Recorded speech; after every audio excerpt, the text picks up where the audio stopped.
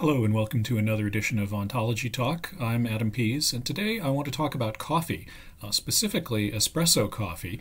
There's a link below that shows the URL for the Sigma browser, which will let you know uh, where you can type in the terms that we'll see. We start off with the term for machine, a generic term that covers the notion of coffee machine.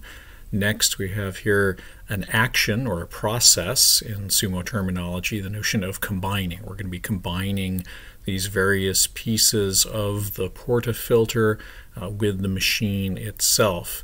As part of uh, combining things, we're going to put things in a certain location. So, another process that we can look at in sumo is the notion of putting. Uh, we're also actually removing things at the moment from the, the uh, tray of the machine. First step here to really getting started is turning on device. So the notion of turning on a particular machine. And once we do that, then it is going to go through the process of heating. Uh, it's the opposite of cooling, obviously, as you can see from the uh, browser.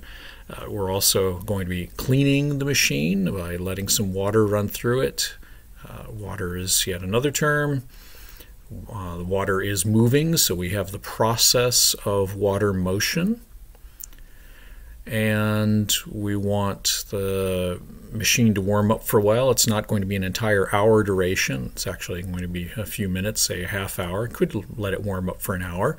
We need to weigh the beans, so we have the relationship weight, the relationship between a unit of measure, a particular measure, and uh, an object that's being weighed. To do that, we use a measuring device, in this case, a scale.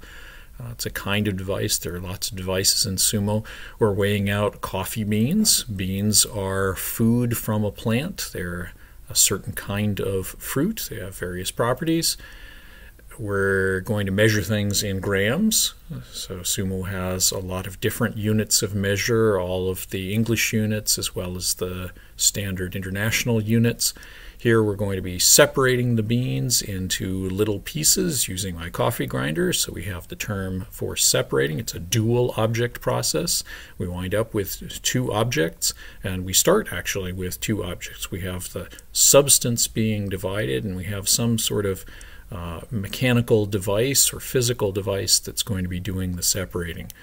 When I tamp the coffee grounds and try to make them level, we wind up with a level shape. It's a shape attribute, an attribute that a shape can have in a certain period of time. Uh, to do that, I rotate uh, the leveler and then I use a tamper. When I'm using a tamper, I'm doing the action of compressing. It's a kind of motion uh, that uh, brings components of something closer together.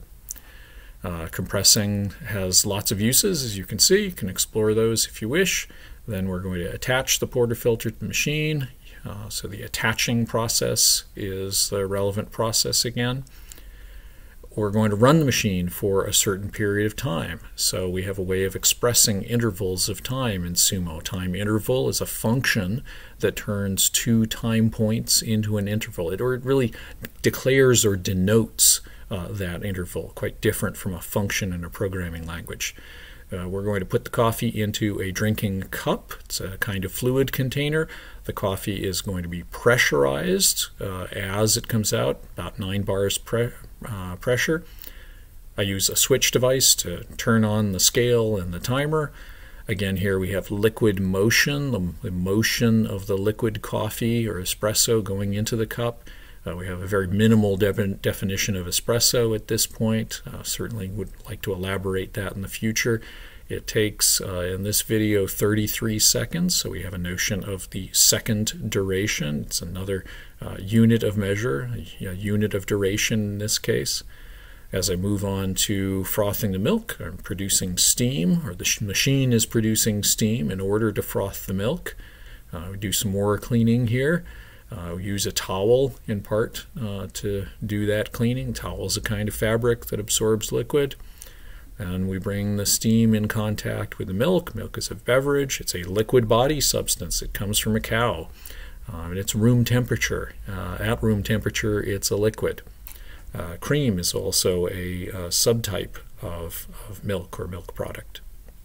So here I am steaming the milk. Takes a little while, uh, and this is a process of aerating. I'm putting bubbles uh, into the milk.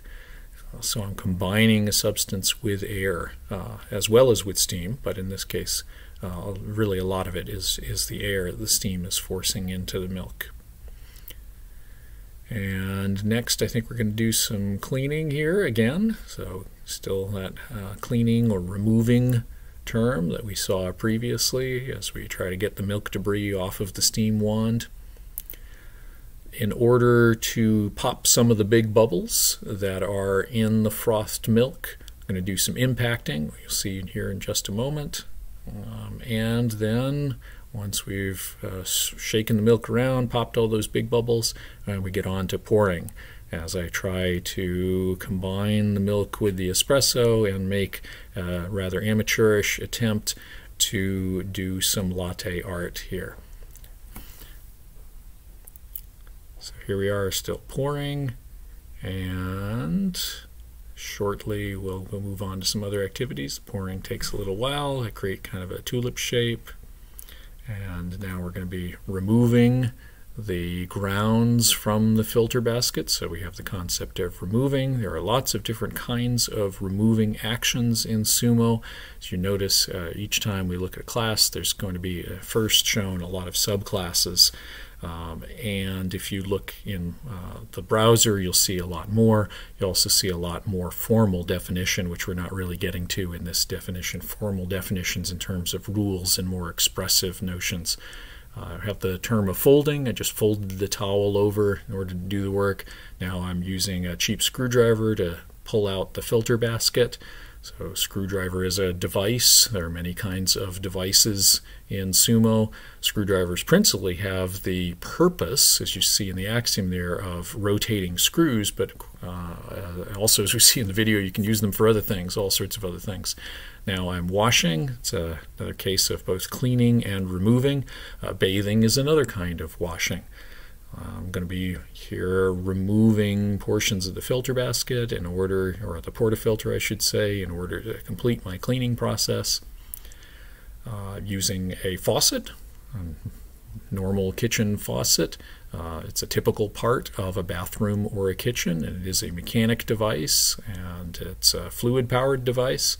Here I'm washing the filter tray. Uh, also notice in the upper right of the browser we have words from WordNet that are equivalent to the Sumo term. So we make clear the distinction between linguistic elements and programming language labels. Here I'm mostly talking to you about the programming language labels. Uh, filter is another term. So we use a uh, Brita water filter, these standard uh, uh, countertop water filters to get us cleaner, better water.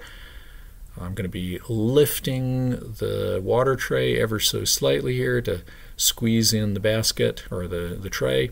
And that's it. So just a quick uh, illustration of many terms that are already in Sumo. I didn't have to add any of these things in order to uh, show them to you. And before I started doing this coffee video, they were already in Sumo, accumulated over the last 23 years or so of effort here. And really a, a valuable resource so you don't have to create all these things from scratch, just as with any other modern programming language library. You build on stuff to make it efficient to create a lot of new stuff quickly. All right, that's it. Hope you enjoyed it.